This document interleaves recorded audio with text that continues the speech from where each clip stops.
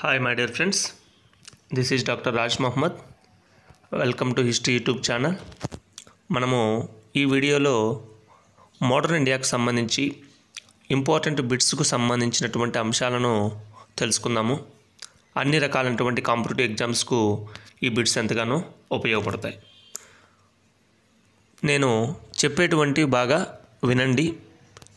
Important bits ఇవన్నీ కూడా అందరూ కూడా చక్కగా నోట్స్లో రాసుకోండి. అందరికీ ఉపయోగపడతాయి. ముందుగా మనము ఆల్రెడీ ఇంతకుముందు చెప్పినటువంటి అన్ని వీడియోలకు కూడా ఆ బిట్స్కు సంబంధించినటువంటివి లాస్ట్లో టెస్ట్ ఆఫ్ యువర్ నాలెడ్జ్ లాగా ఇచ్చాము. అవి చెక్ చేసుకోండి. ఇవి ముఖ్యంగా economic impact of British rule మరియు కొన్ని మిస్లేనియస్ ఏవైతే ఉంటాయో అవన్నీ కూడా కవర్ చేయడం జరిగింది. Very very important. అందరూ కూడా రాసుకోండి. ఫస్ట్ వినండి. వెరీ వెరీ ప్లాసీ యుద్ధము ఏ సంవత్సరంలో జరిగింది? పదిహేడు వందల యాభై ఏడో సంవత్సరంలో జరిగింది. అదేవిధంగా బాక్సర్ యుద్ధం ఏ సంవత్సరం జరిగింది? పదిహేడు వందల అరవై నాలుగో సంవత్సరంలో జరిగింది.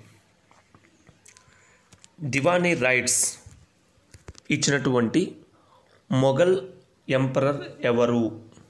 ఇది చాలా చాలా ఇంపార్టెంట్ ఫరూక్ సేర్ అనేటువంటి ఆయన పదిహేడు వందల పదహారు సంవత్సరంలో ఈ దివాణి రైట్స్ ఇవ్వడం జరిగింది. దీనివల్ల ఉపయోగం ఏంట్రా అంటే ఇక్కడ కస్టమ్స్ డ్యూటీస్ అనేటువంటి ఏవైతే ఉంటాయో ఆ బెంగాల్లో వ్యాపారం చేసుకోవడానికి అనుమతినివ్వడమే ఈ దివాణి రైట్స్ యొక్క ప్రధాన ఉద్దేశము. మరి ఆ ఇచ్చినటువంటి రైట్స్ ఏవైతే ఉన్నాయో వాటికి ఒక ఆజ్ఞ జారీ చేయాలి కదా దాన్నే మనము ఫర్మానా అనేటువంటి పేరుతో పిలుస్తాం. ఫర్మానా అంటే రాయల్ డిగ్రీ అని అర్థం. బాగా గుర్తుపెట్టుకోవాలి. ఫర్మానా మీన్స్ రాయల్ డిగ్రీ అంటే రాజు ఆజ్ఞాపించినటువంటి పత్రము అని చెప్పి చెప్పుకోవచ్చు మనం.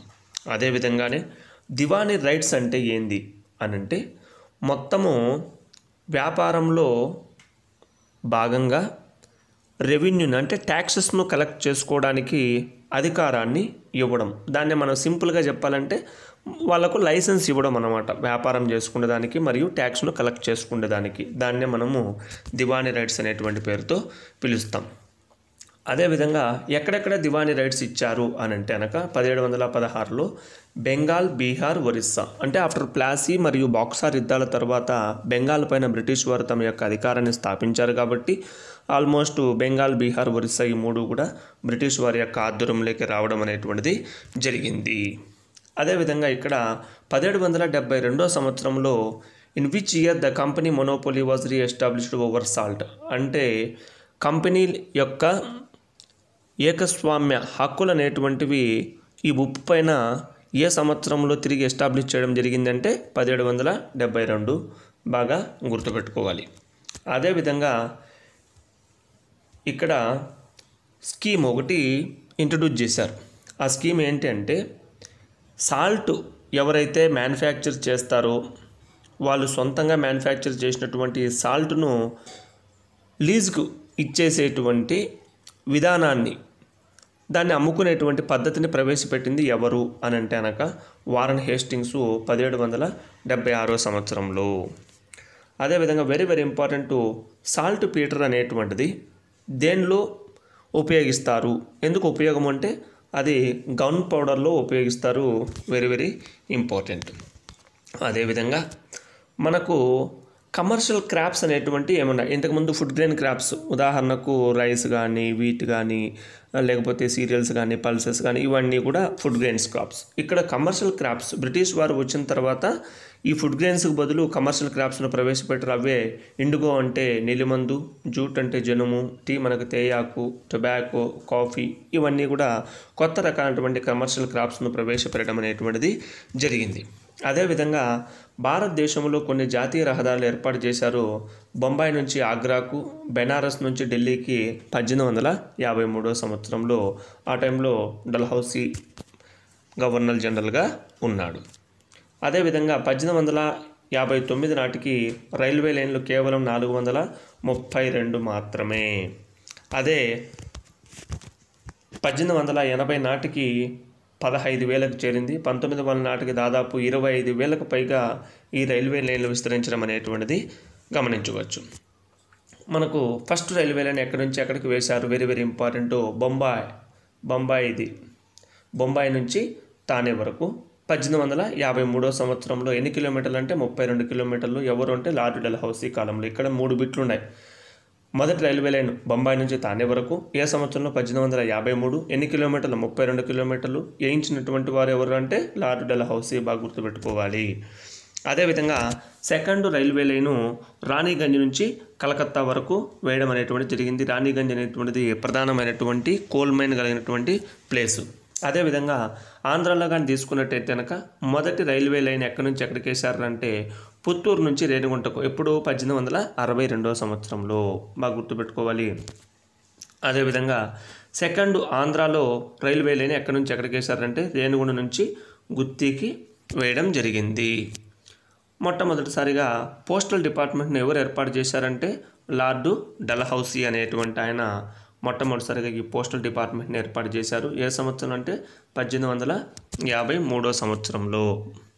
అదేవిధంగా మనకు సుయజ్ కెనాల్ అనేటువంటిది ఉంది. ఈ సుయజ్ కెనాల్ మనకు యూరోప్కు మధ్య ఉండేటువంటి కెనాలు. ఇది పద్దెనిమిది వందల అరవై తొమ్మిదిలో కంప్లీట్ అయిపోయింది. దీని ద్వారా దాదాపు మూడు వేల కిలోమీటర్లు మనకు వాళ్ళకు మధ్య దూరం అనేటువంటిది తగ్గింది. వ్యాపారానికి ఇది ఎంతగానో ఉపయోగపడింది.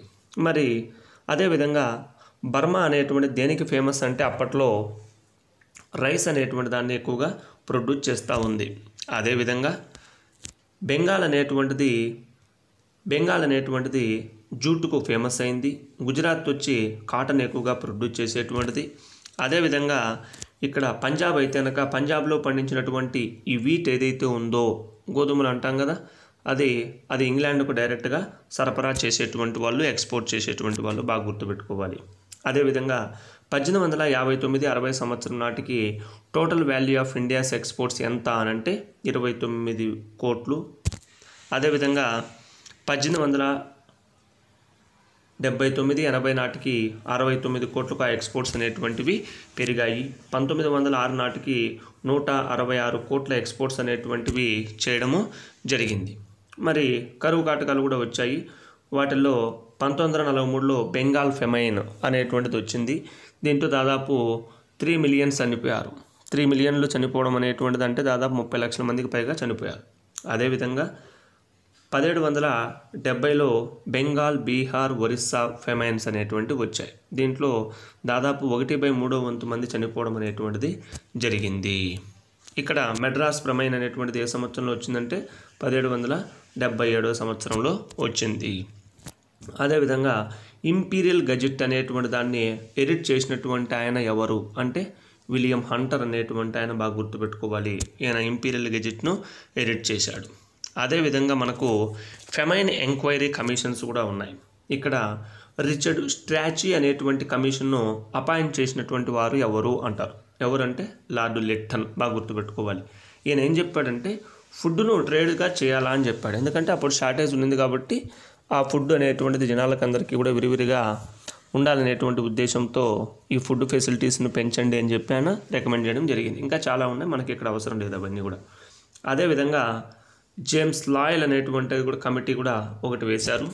ఈ జేమ్స్ లాయల్ కమిటీ అనేటువంటిది కేవలము ఈ ఫెమైన్కు సంబంధించినటువంటి కమిటీ ఇది. ఏమని చెప్పారు ఇది? పద్దెనిమిది వందల తొంభై ఏడులో ఏర్పాటు చేశారు. వీళ్ళు ఇరిగేషన్ ఫెసిలిటీస్ ఏర్పాటు చేయండి అని చెప్పి రికమెండ్ చేశారు. బాగా గుర్తుపెట్టుకోవాలి. అదేవిధంగా ఆంటోనీ మెక్డొనాల్డ్ కమిషన్ను ఎవరు అపాయింట్ చేశారు అని అంటే Lord Curzon. Very very important. Antony McDonald commission ఎవరు అపాయింట్ చేశారంటే లార్డు కర్జను. దేనికి సంబంధించిందంటే famine commission.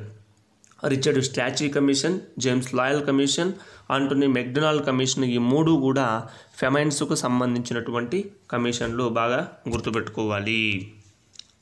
అదేవిధంగా ఫెమైన్ కోడ్ ఏ సంవత్సరంలో ఏర్పాటు చేశారంటే పద్దెనిమిది వందల ఎనభై మూడో సంవత్సరంలో ఏర్పాటు చేయడము జరిగింది. ఈ ఫెమైన్ కోడ్ ప్రకారమే అంతేకాకుండా ఈ ఫెమైన్ కోడ్ మరియు అక్కడ ఉన్నటువంటి ఫెమైన్ కమిషన్స్ ఒక రికమెండ్ చేశారు. ఏమని? ఫెమైన్ ప్రొటెక్షన్ ఫండ్ అనేటువంటిది ఇన్సూరెన్స్ ఫండ్ అనేటువంటిది ఏర్పాటు చేయాలని చెప్పి దాని ప్రకారమే ఆ సంవత్సరాల తర్వాత కాలంలో వీటిని ఏర్పాటు చేయడం జరిగింది. అదేవిధంగా very very important agricultural research institute అనేటువంటిది ఎవరు ఏర్పాటు చేశారు అని అంటే లార్డ్ కర్జన్ బాగా గుర్తుపెట్టుకోవాలి. అదేవిధంగా అగ్రికల్చర్ రీసెర్చ్ ఇన్స్టిట్యూట్ అనేటువంటిది ఎక్కడుంది? వెరీ వెరీ ఇంపార్టెంట్ ఇది పూసా ఉంది. పూసాలో ఇది బీహార్ రాష్ట్రంలో ఉంది. దర్భంగా డిస్టిక్లో ఉంది. పంతొమ్మిది వందల మూడులో సంవత్సరంలో ఈ లార్డ్ కర్జన్ దీన్ని ఏర్పాటు చేయడం జరిగింది. Very very important agricultural research institute ఎక్కడుంది? పూసాలో ఉంది. పూసా ఎక్కడుంది? బీహార్లో ఉంది. ఏ ఏ డిస్టిక్లో అంటే దర్భంగా డిస్టిక్లో. ఏ సంవత్సరంలో ఎస్టాబ్లిష్ చేశారు? పంతొమ్మిది వందల మూడులో. ఎస్టాబ్లిష్ చేసిన వారు ఎవరు అంటే? Lord Curzon. అదేవిధంగా మనకు ఆల్ ఇండియా అగ్రికల్చరల్ బోర్డు అనేటువంటిది ఏర్పాటు చేశారు పంతొమ్మిది వందల ఐదో సంవత్సరంలో. బాగా గుర్తుపెట్టుకోవాలి. పంతొమ్మిది వందల ఐదో సంవత్సరంలో ఆల్ ఇండియా అగ్రికల్చర్ బోర్డు అనేటువంటిది ఏర్పాటు చేశారు. అదేవిధంగా మనం కొన్ని కెనాల్స్ని కానీ తీసుకుంటే కనుక అప్పట్లో మనకి యమునా నది అంటాం అనమాట సో వెస్ట్రన్ యమునా కెనాల్ను డెవలప్ చేసినటువంటి వాళ్ళు ఎవరు అంటే John Calvin and lieutenant Blane అనేటువంటి వీళ్ళిద్దరూ కూడా ఈ కెనాల్ను కంప్లీట్ చేయడానికి ఎంతగానో కృషి చేశారు. అదేవిధంగా ఈ ఈస్టర్న్ కెనాల్ ఏదైతే ఉందో దాన్ని డెవలప్ చేసిన వాళ్ళు వచ్చి కల్నల్ రాబర్ట్స్ అనేటువంటి ఆయన కల్నల్ బెర్ట్ స్మిత్ అనేటువంటి వాళ్ళు ఈ కెనాల్ కంప్లీట్ చేయడానికి కృషి చేశారు. Eastern Yamuna canal. ఇది పద్దెనిమిది వందల ముప్పై సంవత్సరంలో కంప్లీట్ అయింది. ఇది ఢిల్లీ పంజాబ్ ఆ ఏరియాలో ఎక్కువగా ఈ కాలువలు ఉపయోగపడినాయి అదేవిధంగా మనకందరికీ తెలుసు గంగా కెనాల్. ఇప్పుడుండేటువంటి గంగా కాలువ అనేటువంటి దాన్ని లార్డ్ ఒక్లాండ్ అనేటువంటి ఆయన దాన్ని స్టార్ట్ చేశాడు. బట్ అయితే కొన్ని రకాలైనటువంటి కారణాల వలన ఈ గంగా కెనాల్ను లార్డ్ ఎలిన్ బర్రో స్టాప్ చేశాడు. బాగా గుర్తుపెట్టుకోవాలి. స్టార్ట్ చేసింది లార్డ్ ఆక్లాండ్. గంగా కెనాల్ను స్టాప్ చేసింది లార్డ్ ఎలిన్ బర్రో అదేవిధంగా మళ్ళా తిరిగి గంగా కెనాల్ను తిరిగి స్టార్ట్ చేసినటువంటి ఆయన ఎవరు అంటే లార్డ్ హార్డింజు ఎంత దూరం ఉంది గంగా గంగా కెనాల్ అంటే ఎనిమిది వందల తొంభై ఎనిమిది పాయింట్ ఐదు మైళ్ళు ఉంది. దాని యొక్క టోటల్గా పొడవు తర్వాతంగా పెంచడం జరిగింది. సో ఇక్కడ బారీ దోబ్ అనేటువంటిది ఇది కూడా ఒక చిన్న కెనాలు. ఇది లార్డ్ డెలహౌసీ మరియు జాన్ లారెన్స్ కాలంలో ఈ కెనాల్ను కంప్లీట్ చేయడం అనేటువంటిది జరిగింది. అదేవిధంగా మనకందరికీ తెలిసినటువంటి వెరీ వెరీ ఇంపార్టెంట్ ఈ ధవళేశ్వరం బ్యారేజ్ అనేటువంటి దా అనేటువంటిది ఏ నదిపైన నిర్మించారు అంటే గోదావరి నదిపైన నిర్మించారు ధవళేశ్వరం బ్యారేజ్ ఎక్కడుందంటే రాజమండ్రికి రాజమండ్రిలోనే ఉందన్నమాట. బాగా గుర్తుపెట్టుకోవాలి. ఈ ధవళేశ్వరం బ్యారేజ్ని నిర్మించినటువంటి బ్రిటిష్ వాళ్ళు ఎవరు అంటే సర్ ఆర్థర్ కాటన్ అనేటువంటి ఆయన. వెరీ వెరీ ఇంపార్టెంట్ బాగా గుర్తుపెట్టుకోవాలి. అందుకే ధవళేశ్వరం బ్యారేజ్ ఏ సంవత్సరంలో కంప్లీట్ అయిందంటే పద్దెనిమిది వందల యాభై రెండో సంవత్సరంలో కంప్లీట్ అయింది ధవళేశ్వరం బ్యారేజ్. అదేవిధంగా ధవళేశ్వరం బ్యారేజ్కు మరొక పేరు ఏంటంటే ఎందుకంటే ఈ సర్ ఆర్థర్ కాటన్ అనేటువంటి ఆయన కట్టాడు కాబట్టి ఆయన పేరునే ఆ ధవళేశ్వరానికి పెట్టడం జరిగింది. సో కాబట్టి కాటన్ బ్యారేజ్ అనేటువంటి పేరుతో కూడా పిలుస్తారు. అదేవిధంగా ఈ కాటన్ బ్యారేజ్ కంప్లీట్ కావడానికి ఎంత అమౌంట్ను బ్రిటిష్ వారు స్పెండ్ చేశారంటే ఒకటి పాయింట్ యాభై లక్షల పౌండ్లు ఈ అమౌంట్ను ఈ ధవళేశ్వరం బ్యారేజ్ కంప్లీట్ కావడానికి స్పెండ్ చేయడం అనేటువంటిది జరిగింది. అదేవిధంగా మనకు ఇంకొకటి ఉంది కృష్ణా బ్యారేజ్ అని చెప్పి. ఇది ఏ నది ఒడ్డున ఉందంటే కృష్ణా నది ఒడ్డునే ఉంది కాబట్టి దీన్ని కృష్ణా బ్యారేజ్ అని పిలుస్తారు. దీన్ని కంప్లీట్ చేసినటువంటి ఆయన ఎవరంటే కెప్టెన్ ఓక్ అనేటువంటి ఆయన ఈ కృష్ణా నది పైన బ్యారేజ్ నిర్మించడం అనేటువంటిది జరిగింది. అదేవిధంగా మనకు నీల్ దర్పణ్ అనేటువంటి గ్రంథాన్ని రచించిన వారు ఎవరు అని అంటే ఈ నీల్ దర్పణ్ అనేటువంటిది రచించిన వారు దీన బంధుమిత్ర వెరీ వెరీ ఇంపార్టెంట్ దీన బంధుమిత్ర నీల్ దర్పణ్ రచయిత ఎవరంటే దీన బంధుమిత్ర ఈ నీల్ దర్పణ్ ఏ సంవత్సరంలో రాశారంటే పద్దెనిమిది వందల అరవయో సంవత్సరంలో రాశారు. ఈ నీల్ దర్పణ్ ఈ దీన బంధుమిత్ర అనేటువంటి ఆయన ఏ రాష్ట్రానికి చెందినటువంటి వాళ్ళు అంటే బెంగాల్కు చెందినటువంటి వాళ్ళు బెంగాల్కు చెందినటువంటి రచయిత ఈ దీన బంధుమిత్ర ఈ నీల్ దర్పణ్ అనేటువంటిది దేనికి సంబంధించిందంటే అందులో ఇండిగో ప్లాంటర్స్ అంటే నీలిమందు రైతుల కష్టాల గురించి మొత్తం అంతా కూడా ఇందులో వివరించడం జరిగింది. ఒక డ్రామా లాగా ఇందులో ప్లే చేశారు. అదేవిధంగా కార్ఖానాస్ అంటే ఏంటి? కార్ఖానాస్ అంటే ఇండస్ట్రీస్ మనకు మొఘలుల కాలంలోనూ మరియు ఢిల్లీ సుల్తానట్ కాలంలోనూ ఈ కార్ఖానాస్ అనేటువంటివి ఉన్నాయి. ఇక్కడ who said destroyed the spinning loom and cotton with cotton industry అంటే కాటను పరిశ్రమ కాటన్నే దెబ్బతీసింది. కాటన్ పరిశ్రమనే దెబ్బతీసింది. అది చెప్పినటువంటి వాళ్ళు ఎవరు అంటే కార్ల్ మాక్స్ అనేటువంటి ఆయన. అదేవిధంగా మనకు which act open India for treated to all merchants to of England అంటే పద్దెనిమిది వందల పదమూడు చట్టం. ఈ పదమూడు వందల పద్దెనిమిది వందల పదమూడు చట్టము మొత్తం అంతా కూడా ఇంగ్లాండ్లో ఉండేటువంటి వ్యాపారులందరికీ కూడా భారతదేశంలో వ్యాపారం చేసుకోవచ్చు అని చెప్పి పర్మిషన్ ఇవ్వడం అనేటువంటిది జరిగింది. వెరీ వెరీ ఇంపార్టెంట్ ఏ చట్టం అంటే పద్దెనిమిది వందల పదమూడు చట్టము. అదేవిధంగా డ్రైన్ ఆఫ్ వెల్త్ అనేటువంటి థీరీని ప్రపోజ్ చేసినటువంటి వాళ్ళు ఎవరు అంటే దాదాబాయ్ నవరోజీ మరి డ్రైన్ ఆఫ్ వెల్త్ అంటే ఏంది? Transfer of wealth. అంటే మన దేశంలో ఉండేటువంటి సంపదను బ్రిటన్ దేశానికి తరలిపోవడమే డ్రైన్ ఆఫ్ వెల్త్ అనేటువంటి పేరుతో పిలుస్తాము. దీన్ని ప్రతిపాదించినటువంటి ఆయన దాదాబాయ్ నవరోజీ ఈ దాదాబాయ్ నవరోజీకి ఫాదర్ ఆఫ్ ఇండియన్ నేషనలిజం అనేటువంటి పేరుంది. బాగా గుర్తుపెట్టుకోవాలి. ఫాదర్ ఆఫ్ ఇండియన్ నేషనలిజం అంటే ఎవరు? దాదాబాయ్ నవరోజీ. అదేవిధంగా దాదాబాయ్ నవరోజీ అనేక రకాలైనటువంటి గ్రంథాలు రాశాడు. వాటిలో ప్రధానమైనటువంటిది ఇక్కడ మీకు చెప్పొస్తాను. ఒకటి వచ్చి ఇంగ్లాండ్ డెప్ టు ఇండియా అనేటువంటిది poverty and un British rule in India పద్దెనిమిది వందల అరవై ఏడో సంవత్సరంలో very very important poverty and un British rule in India ఏ సంవత్సరంలో అంటే పద్దెనిమిది వందల అరవై ఏడులో? రాసినటువంటి రచయిత ఎవరు అంటే? Dadabhai Naoroji the wants and means of India పద్దెనిమిది వందల డెబ్బై సంవత్సరంలో ఈ గ్రంథాలను రాయడం అనేటువంటిది జరిగింది. ఇంకా ఇవే కాకుండా on the commerce of India అనేటువంటిది ఒకటి కూడా ఆయన రచించినటువంటి గ్రంథం. అదేవిధంగా దాదాబాయ్ నవరోజీ ఒక న్యూస్ పేపర్ను కూడా స్టార్ట్ చేశాడు. దాన్నే రోస్ట్ గోఫ్తర్ అంటారు. వెరీ వెరీ ఇంపార్టెంట్ రోస్ట్ గోఫ్తర్ను స్టార్ట్ చేసినటువంటి ఆయన ఎవరు అంటే దాదాబాయ్ నవరోజీ ఇది ఆంగ్లో గుజరాతీ ఇంగ్లీష్ మరియు గుజరాతీ రెండు భాషల్లోనూ ఉంటుంది. ఇది పద్దెనిమిది వందల యాభై నాలుగులో ఏర్పాటు చేయడం అనేటువంటిది జరిగింది. వెరీ వెరీ ఇంపార్టెంట్ ఇది అందరూ బాగా గుర్తుపెట్టుకోవాలి. The manners and customs of the Parsees అనేటువంటి గ్రంథాన్ని కూడా ఇతనే రచించాడు దాదాబాయ్ నవరోజీ. అదేవిధంగా the European and Asiatic races పద్దెనిమిది వందల అరవై ఆరో సంవత్సరంలో దీన్ని రచించడం అనేటువంటిది జరిగింది.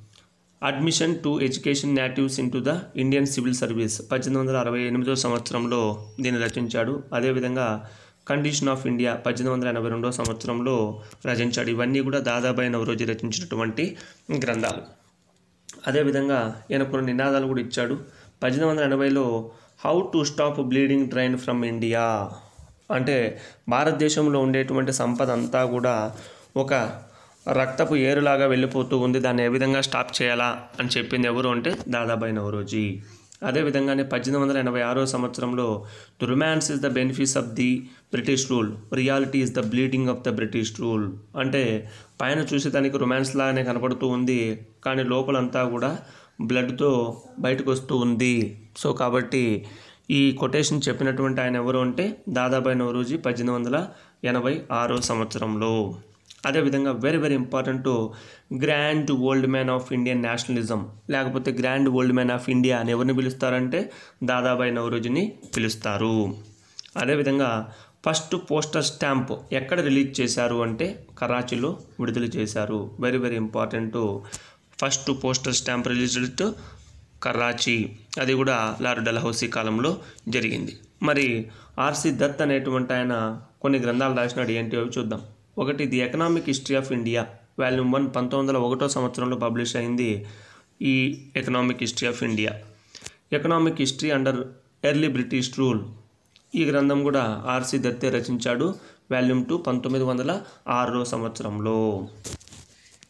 అదేవిధంగా ఈ డ్రైన్ ఆఫ్ వెల్త్ అనేటువంటి థిరీని ఏ సంవత్సరంలో ఇండియన్ నేషనల్ కాంగ్రెస్ అడాప్ట్ చేసుకుందంటే పద్దెనిమిది వందల తొంభై ఆరో సంవత్సరంలో. అదేవిధంగా అది ఆ సమావేశం ఎక్కడ జరిగిందంటే కలకత్తా సమావేశంలో ఈ డ్రైన్ ఆఫ్ వెల్త్ అనేటువంటి థిరీని కాంగ్రెస్ వాళ్ళు అడాప్ట్ చేసుకున్నారు. బాగా గుర్తుపెట్టుకోవాలి. అదేవిధంగా హోమ్ ఛార్జెస్ అంటే ఏంటి? హోమ్ ఛార్జెస్ అంటే purchase of military stores expenditure on the Indian office establishment and interest on debts interest on railway capital investment non effective charges of the army and pensions and gratuities payable in England to retired civil servants of the company. ఇవన్నీ కూడా ఏంటిరంటే మొత్తము మిలిటరీకి సంబంధించిన ఏమన్నా కొన్నా మన India office సంబంధించినటువంటి వ్యవహారాల ఖర్చులు రుణాలకు సంబంధించి తీసుకున్నటువంటి వడ్డీలు అదేవిధంగా రైల్వేల పైన పెట్టినటువంటి పెట్టుబడికి వడ్డీలు మరియు ఆర్మీ పైన పెట్టేటువంటి ఖర్చులు మరియు ఎవరైతే సివిల్ సర్వెంట్స్గా పనిచేసి ఇంగ్లాండ్లో స్థిరపడినటువంటి వాళ్ళకి ఇచ్చేటువంటి పెన్షన్లు గ్రాట్యుటీ అంతా కూడా ఈ హోమ్ ఛార్జీల్లో కలిసి ఉంటాయి. దీనివల్ల మనం విపరీతంగా నష్టపోవడం అనేటువంటిది కూడా జరిగింది. సంపద అంతా కూడా దీని రూపంలో వాళ్ళ దేశానికి తరలిపోయింది అని చెప్పి చరిత్రకారులు తెలిపారు. అదేవిధంగా magna carta of Indian education అని దేన్ని అంటామంటే చార్లెస్ వుడ్స్ డిస్పాచ్. అనేటువంటి దాన్ని చార్లెస్ వుడ్స్ నివేదిక అంటాం. ఇది ఏ సంవత్సరం అంటే పద్దెనిమిది వందల యాభై నాలుగు. దేనికి సంబంధించిందంటే చార్లెస్ వుడ్స్ డిస్పాచ్ ఎడ్యుకేషన్కి సంబంధించింది. Very very important. ఈ చార్లెస్ వుడ్స్ డిస్పాచ్ను అపాయింట్ చేసినటువంటి వాళ్ళు ఎవరు అంటే లార్డ్ డల్హౌస్. ఇక్కడ ఐదు బిట్లు ఉన్నాయి magna carta of Indian education వచ్చి ఏది అంటే చార్లెస్ వుడ్స్ డిస్పాచ్. ఇది ఏ సంవత్సరంలో చేశారంటే పద్దెనిమిది వందల యాభై నాలుగో సంవత్సరంలో. దీన్ని ఏర్పాటు చేసినటువంటి గవర్నర్ జనరల్ ఎవరంటే లార్డు డల్హౌసీ. ఇది దేనికి సంబంధించిందంటే ఎడ్యుకేషన్కు సంబంధించినటువంటిది. అదేవిధంగా కొన్ని యూనివర్సిటీలు కూడా ఏర్పాటు చేశారు. మొట్టమొదటిసారిగా భారతదేశంలో ఏర్పాటైనటువంటి university Calcutta university very very important. పద్దెనిమిది వందల యాభై ఏడు జనవరిలో ఏర్పాటు చేశారు. దాని తర్వాత రెండవ యూనివర్సిటీ బొంబాయి యూనివర్సిటీ పద్దెనిమిది వందల యాభై ఏడు జూలైలో ఏర్పాటు చేశారు. అదేవిధంగా మెడ్రాస్ యూనివర్సిటీ పద్దెనిమిది వందల యాభై ఏడు సెప్టెంబర్లో ఏర్పాటు చేయడం అనేటువంటి జరిగింది. ఈ మూడు యూనివర్సిటీలు కూడా ఇదే సీక్వెన్స్ ఆర్డర్. ఫస్ట్ కలకత్తా తర్వాత బొంబాయి తర్వాత మెడ్రాస్ యూనివర్సిటీలుగా మనము చెప్పుకోవచ్చు. అదేవిధంగా భారతదేశానికి విద్యా వ్యాప్తి కోసం ఒక లక్ష రూపాయలను కేటాయించినటువంటి చట్టం ఏది అంటే పద్దెనిమిది వందల పదమూడు చార్టర్ చట్టము. వెరీ వెరీ ఇంపార్టెంట్ అంటే ఒక లక్ష రూపాయలు భారతదేశంలో విద్యాభిధికి మొట్టమొదటిసారిగా కేటాయించడం అనేటువంటిది చరిత్రలో నిజంగా ఒక గొప్ప అంశంగా మనం ఇక్కడ పరిగణించవచ్చు. అది ఏ చట్టం అంటే పద్దెనిమిది వందల పదమూడు చార్టర్ చట్టంగా మనము పిలుచుకోవచ్చు. సో ఇంకా ఫస్ట్ టెలిగ్రాఫ్ లైన్ ఎక్కడి నుంచి ఎక్కడికి వేశారంటే కలకత్తా నుంచి ఆగ్రాకి వేశారు. ఏ సంవత్సరం అంటే పద్దెనిమిది వందల యాభై మూడు. ఇది కూడా లార్డ్ డల్హౌసీ కాలంలోనే జరిగింది. అదేవిధంగా ఇండియా టుడే అనేటువంటి పు పుస్తకాన్ని రచించినటువంటి వాళ్ళు ఎవరు అంటే ఆర్పి దత్ అనేటువంటి చరిత్రకారుడు మరియు ఎకనామిక్ హిస్టోరియన్ మరియు బ్రిటిష్ వారు కొన్ని చట్టాలు కూడా జారీ చేశారు. వాటిలో ప్రధానమైనటువంటివి పదిహేడు వందల డెబ్బై మూడో సంవత్సరంలో రెగ్యులేటింగ్ చట్టాన్ని జారీ చేశారు. వెరీ వెరీ ఇంపార్టెంట్ పదిహేడు వందల డెబ్బై మూడో సంవత్సరంలో బ్రిటిష్ వారు రెగ్యులేటింగ్ చట్టాన్ని జారీ చేశారు. అదేవిధంగా పదిహేడు వందల ఎనభై నాలుగో సంవత్సరంలో పిట్స్ ఇండియా చట్టాన్ని జారీ చేశారు. పద్దెనిమిది వందల పదమూడో సంవత్సరంలో చార్టర్ చట్టాన్ని జారీ చేశారు. పద్దెనిమిది వందల ముప్పై మూడో సంవత్సరంలో మరొక చార్టర్ చట్టాన్ని కూడా జారీ చేయడం అనేటువంటిది జరిగింది. ఈ చట్టాల గురించి మనం డీటెయిల్గా రాబోయేటువంటి వీడియోల్లో తెలుసుకుందాము. సో ఇంకా కూడా వచ్చేటువంటి వీడియోల్లో మరిన్ని ఇంపార్టెంట్ బిట్స్ అన్నీ కూడా మీకు వీడియోల రూపంలో అందించడం జరుగుతుంది. అందరూ కూడా సబ్స్క్రైబ్ చేయండి షేర్ చేయండి. So thank you one and all. Thank you very much.